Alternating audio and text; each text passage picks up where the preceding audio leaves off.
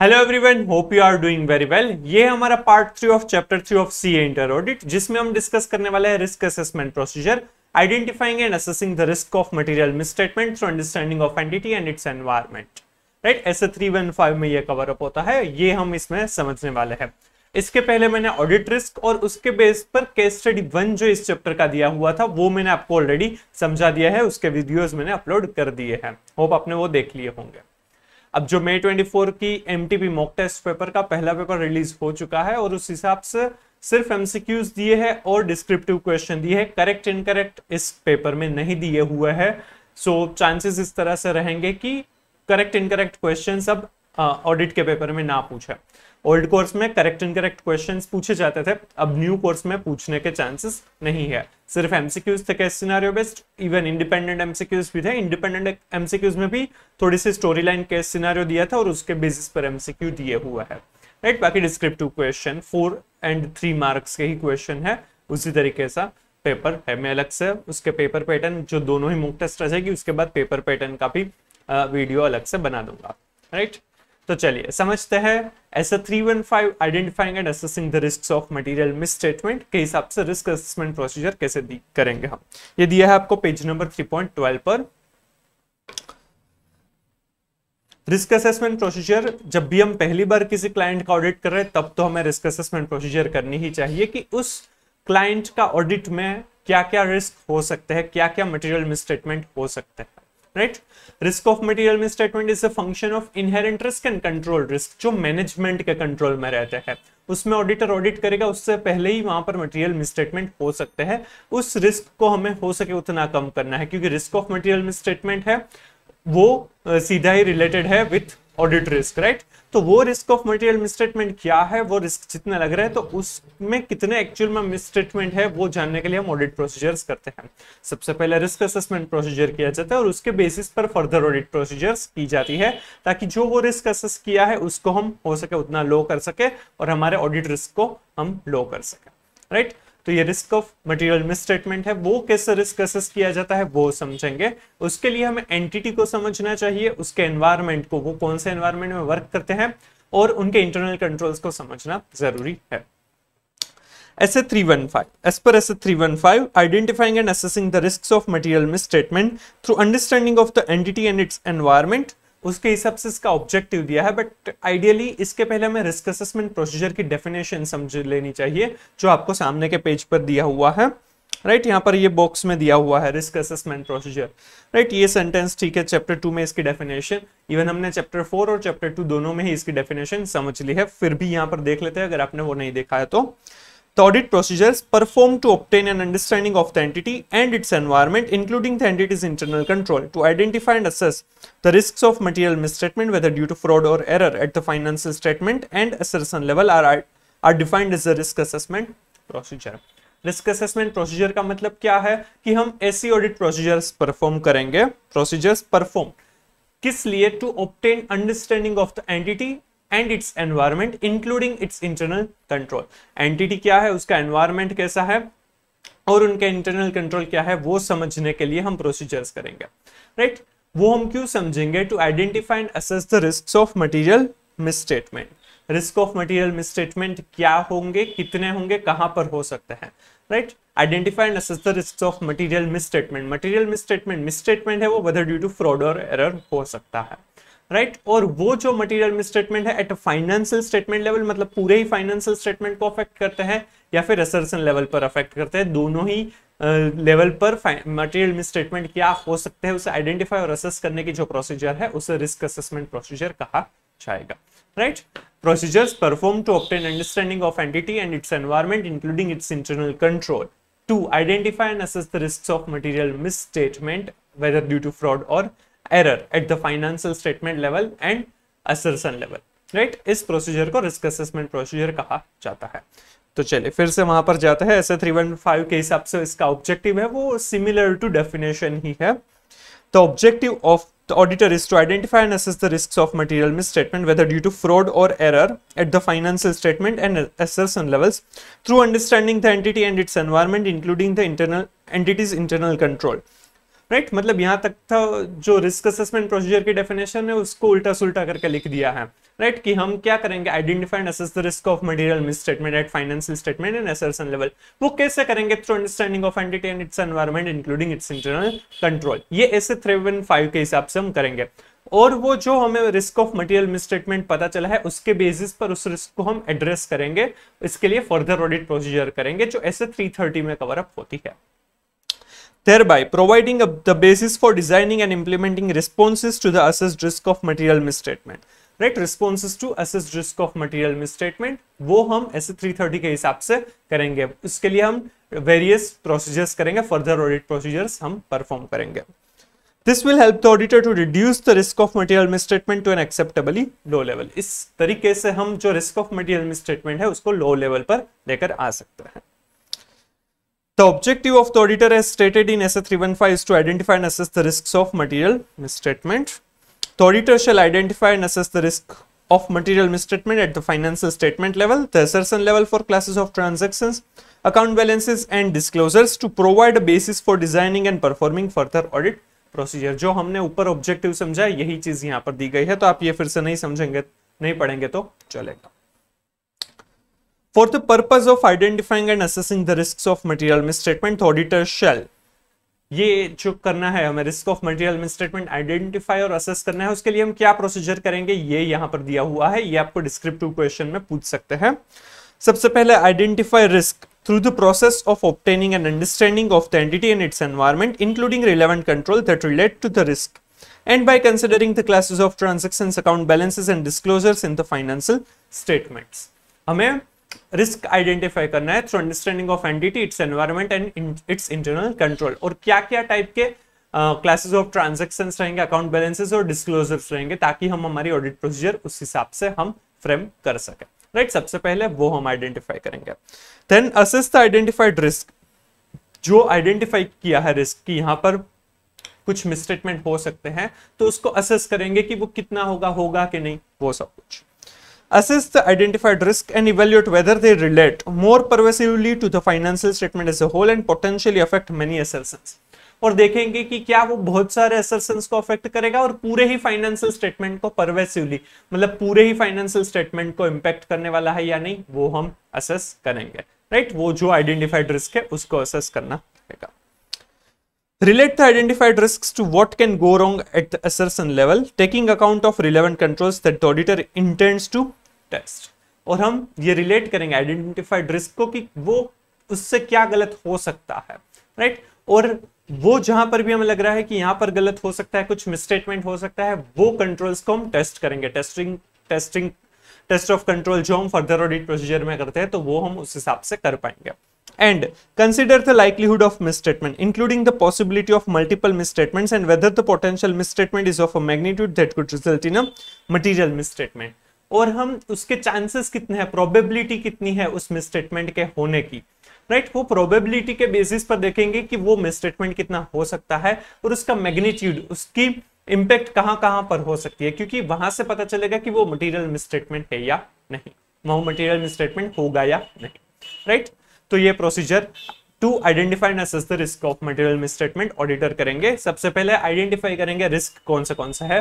वो कैसे करेंगे? Through understanding of entity its environment including including its internal control right और साथ में ये भी पता चलेगा कि कौन से टाइप के ट्रांजेक्शन अकाउंट बैलेंसेज और डिस्क्लोजर्स रहेंगे। राइट देन जो आइडेंटिफाइड रिस्क है उसको असेस किया जाएगा और देखा जाएगा कि वो कितने जगह पर इंपैक्ट करेगा वो क्या pervasively to the whole financial statement impact करेगा या नहीं वो देखेंगे।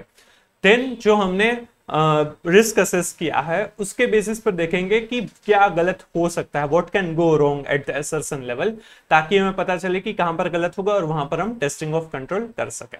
एंड देन उस जो गलत होने के मिसस्टेटमेंट होने के चांसेस है, वो प्रोबेबिलिटी देखेंगे कितने चांसेस है और देखेंगे कि उसके मैग्नीट्यूड कितना होगा। क्या वो मिस मटीरियल मिसस्टेटमेंट कहलाएगा या नहीं, वो हम जज करेंगे। Right right? इस तरह से हम रिस्क ऑफ़ मटीरियल मिसस्टेटमेंट करेंगे आइडेंटिफाई और असेस करेंगे। क्लियर ये आपको डिस्क्रिप्टिव क्वेश्चन में पूछ सकते हैं तो आपको इस तरह से अच्छे से रीड करके जाना चाहिए। Risk assessment procedure are basis for the identification and assessment of risk of material misstatement at the financial statement and assertion levels. ये हमने ऑलरेडी पढ़ा है तो ये आप सेंटेंस इग्नोर कर सकते हैं The auditor shall perform risk assessment procedure to provide a basis for the identification and assessment of risk of material misstatement at the financial statement and assertion levels. ये भी repetition है. Risk assessment procedure by themselves, however, do not provide sufficient appropriate audit evidence on which to base the audit opinion. ये sentence important है, जो last sentence है. जो हम risk assessment procedure करेंगे, वो करना ज़रूरी है। ऐसे के हिसाब से रिक्वायर्ड है इवन उससे पता चलेगा कि मटेरियल मिसस्टेटमेंट क्या हो सकता है। बट वो सफिशियंट अप्रोप्रिएट ऑडिट एविडेंस नहीं देता कि जिसके बेसिस पर हम अपना ऑडिट ओपिनियन दे दे।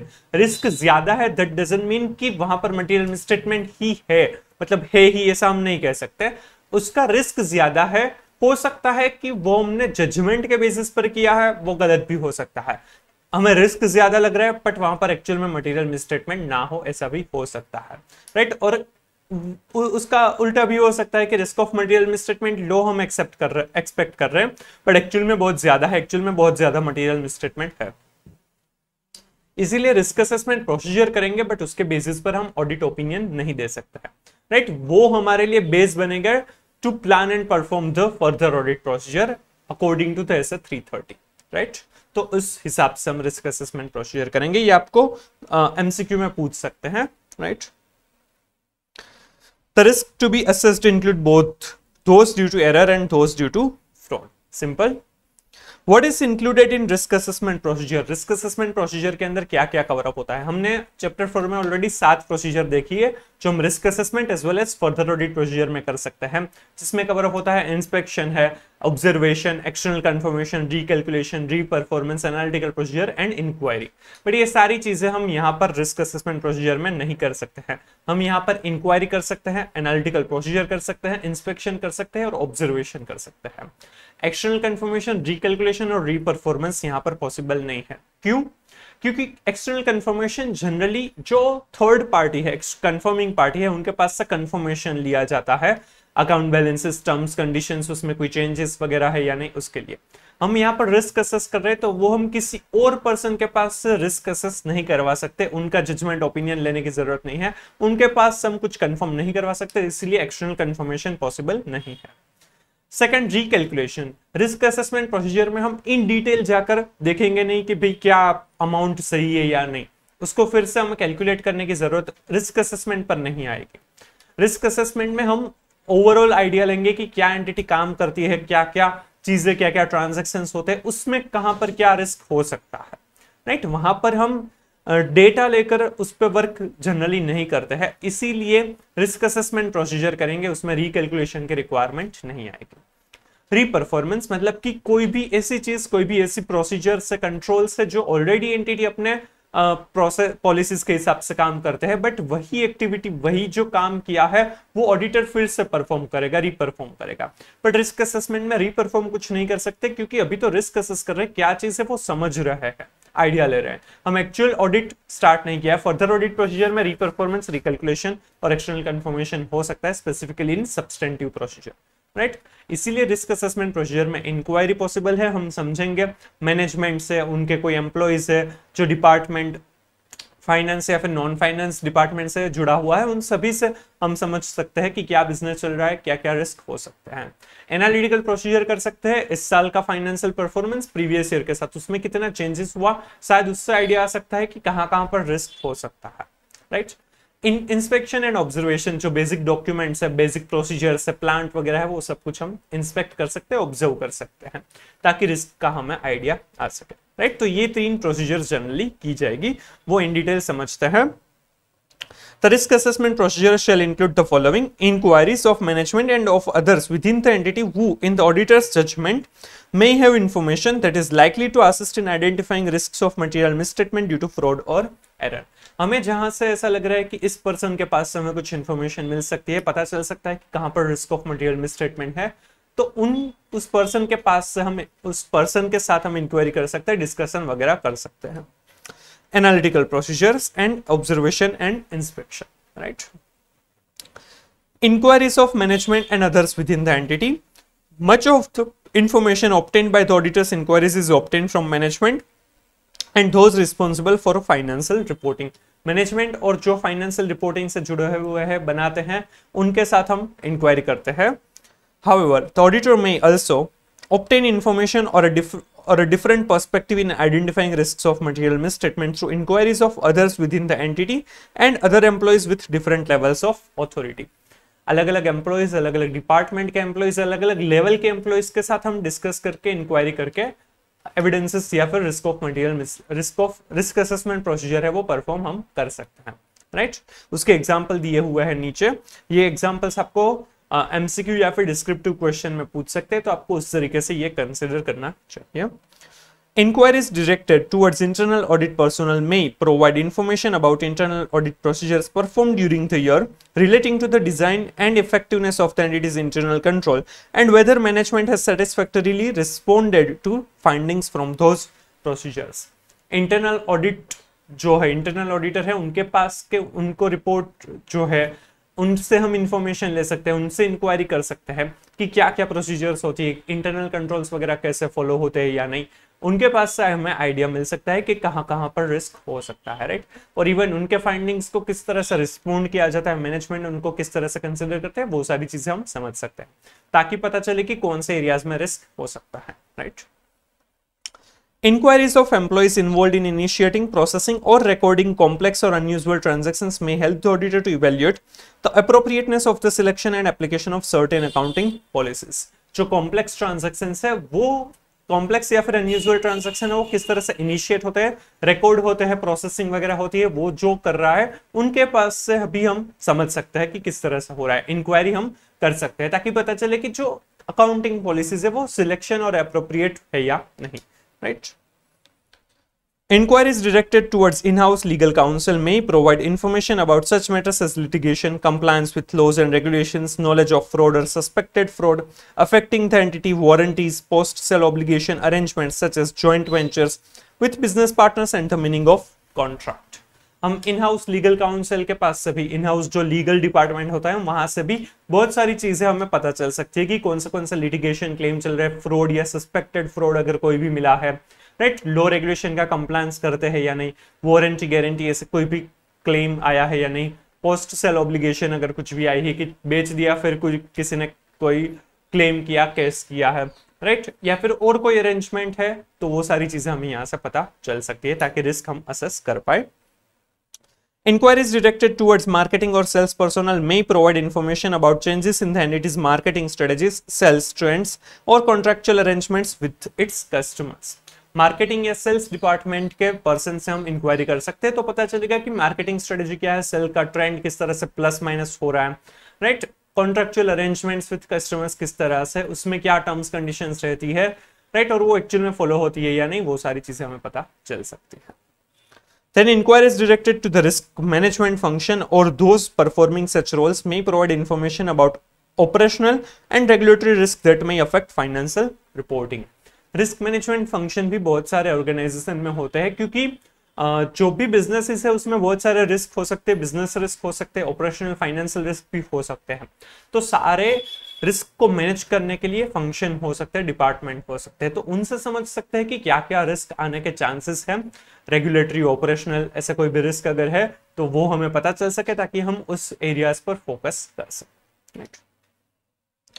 Inquiries directed to information system personnel may provide information about system changes system और कंट्रोल फेलियर्स और other information system related risk information system जो हैंडल करते हैं क्योंकि आज के ज़माने में सारे बिज़नेस में इंफॉर्मेशन सिस्टम के इन्वॉल्वमेंट होगी ही।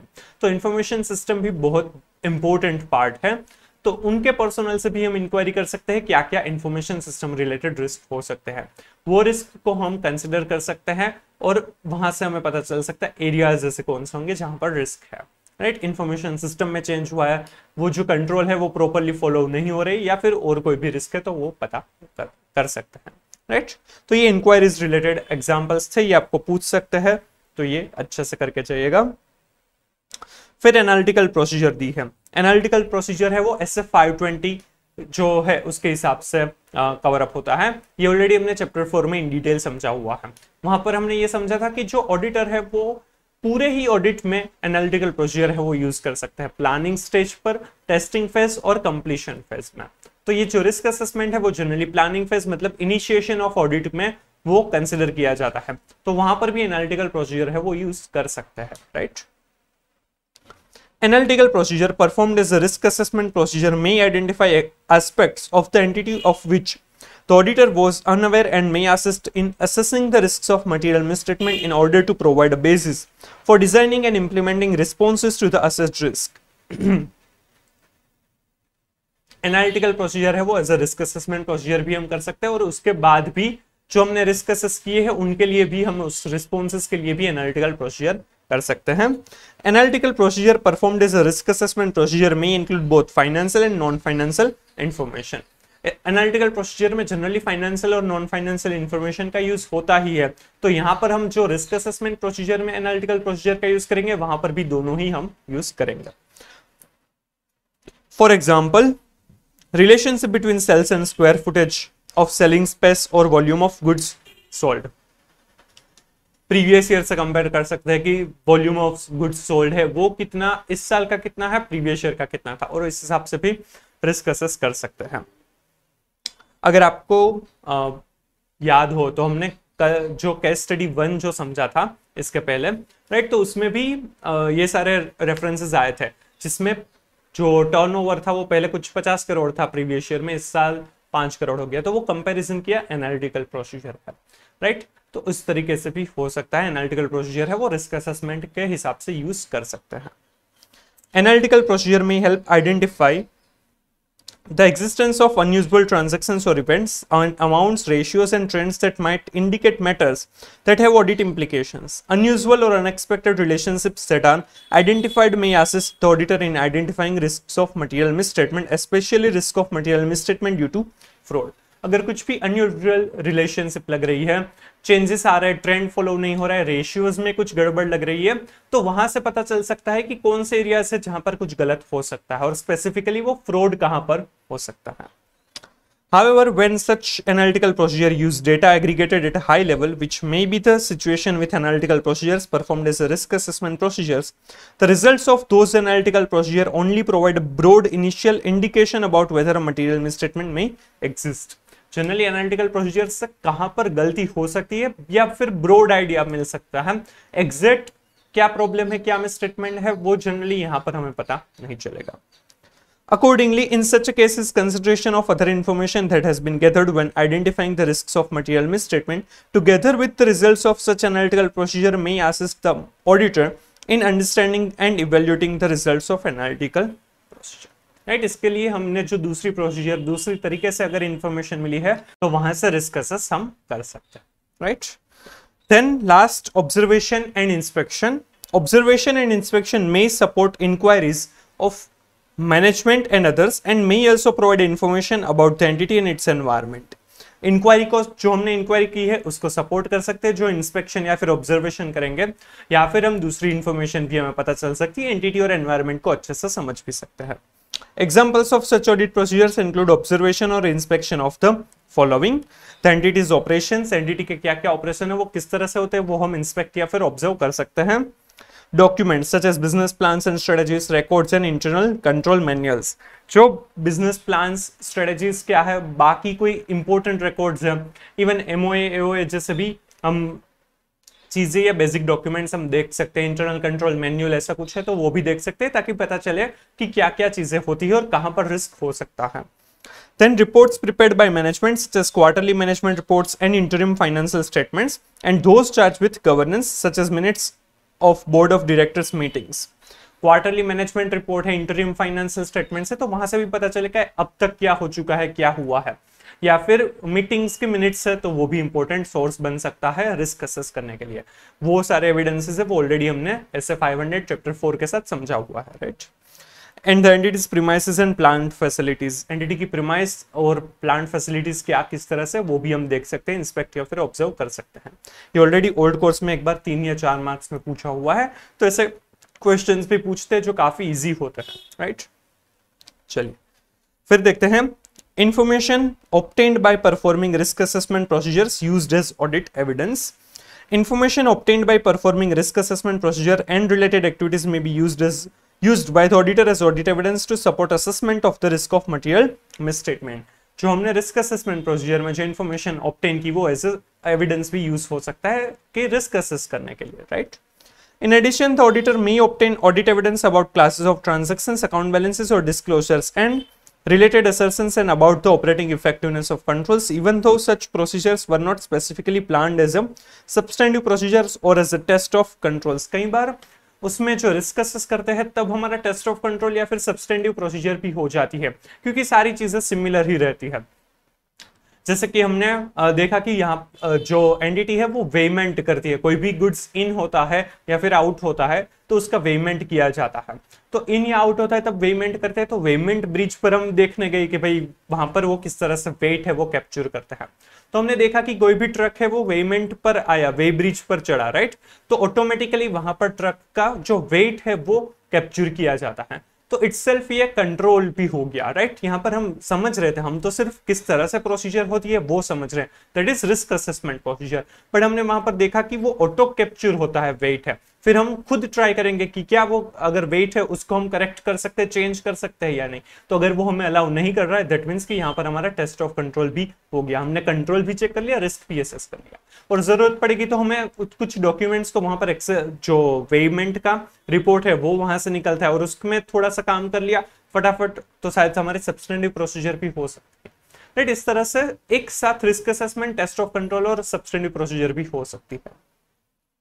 The auditor also may choose to perform substantive procedures or test of controls con concurrently with risk assessment procedure because it is efficient to do so. अगर वो efficient है कि risk assessment के साथ साथ ही test of control या substantive procedure करना तो वो भी हम कर सकते हैं फॉर एग्ज़ाम्पल दो चार ही ट्रांजेक्शन है तो वो वहीं पर देख लिया तो substantive procedure भी हो गई right? इस तरह से भी कुछ हो सकता है क्लियर ये आपको एमसीक्यू में पूछ सकते हैं बाकी सिंपल सा था राइट right? तो ये पूरा था रिस्क असेसमेंट प्रोसीजर होप आपको समझ में आ गया होगा राइट right? इसके बाद हम समझेंगे अंडरस्टैंडिंग ऑफ़ द एंटिटी के लिए क्या ज़रूरी है बिज़नेस को समझने के लिए क्या ज़रूरी है यहाँ पर ये जो टेस्टर अंडरस्टैंडिंग है, वो बाद में कवर अप किया जाएगा और मटेरियल भी उसके बाद कवर अप किया जाएगा उसके पहले हम समझेंगे जो आप अंडरस्टैंडिंग ऑफ़ द एंटिटी जो नेसेसरी है as per the 3.24 page number पर दिया है understanding the entity and its environment जो एस थ्री वन फाइव से जुड़ा हुआ है तो वो हम नेक्स्ट वीडियो में कवर अप करेंगे